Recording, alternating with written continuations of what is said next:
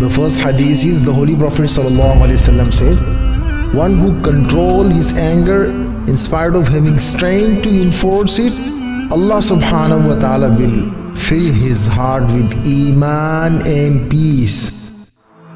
This means that a person has full strength to enforce his anger and there is no obstacle preventing him from doing so yet he control his anger and forgives the person only out of the fear of Allah subhanahu wa ta'ala. Allah subhanahu wa ta'ala will then bless such a person with the above reward. What a great reward for controlling one's anger.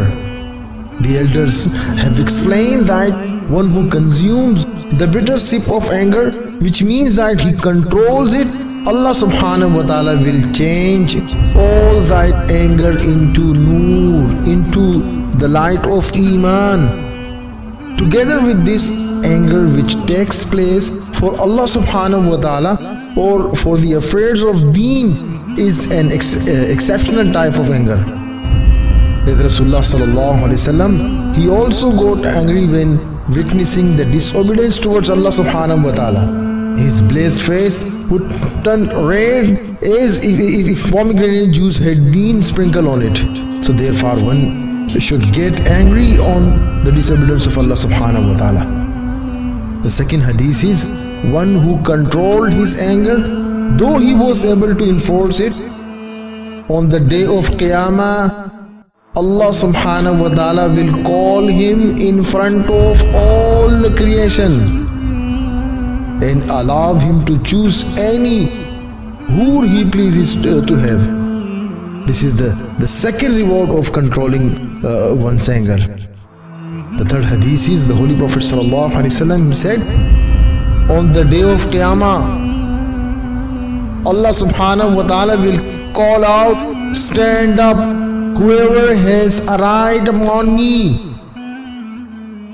No one will stand up except the person who forgave another's mistake in the world. So whoever who earned this wealth and did action of forgiveness, only he will stand up to take these rewards from Allah subhanahu wa ta'ala on that day.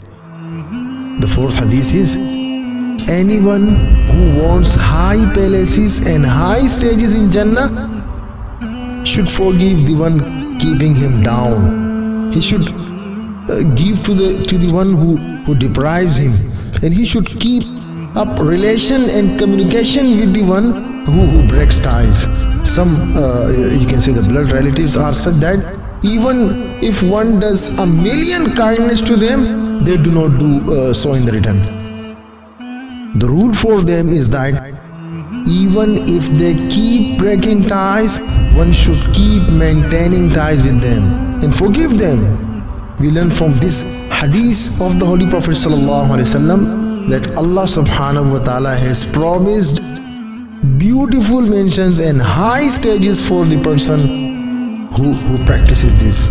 If, if, if, a relative is troubling and harming one to such an extent that it is unbearable and, and through which one's uh, world and hereafter is being harmed, so one should take advice from the ulama karam. Because for such a person, uh, some different rules uh, will apply. The fifth hadith is narrated by a Sahabi, Hazrat Abu Mas'ud that once he was beating his slave when he heard a voice from behind him saying, O Abu Mas'ud, Allah subhanahu wa ta'ala has more power over you than what you have over him. This was the voice of Rasulullah sallallahu alayhi wasallam.